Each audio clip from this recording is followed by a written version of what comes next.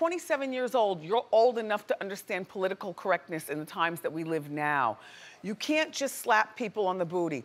Of course, he probably knows it's not right from a man to a woman or a woman to a man, but you can't even do that locker room thing. That cop wasn't playing that. I mean, you're lucky you only got battery. What if he